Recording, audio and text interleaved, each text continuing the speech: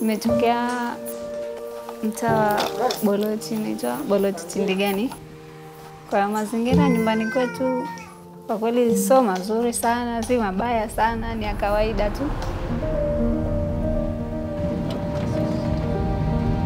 Kwanza ni yani, kwa mawazo yangu mimi asingepata hii huduma, angezarauliwa na watu, ili kielimu asingeweza kupata vizuri, yani kwa mawazo yangu aliokuwa nao.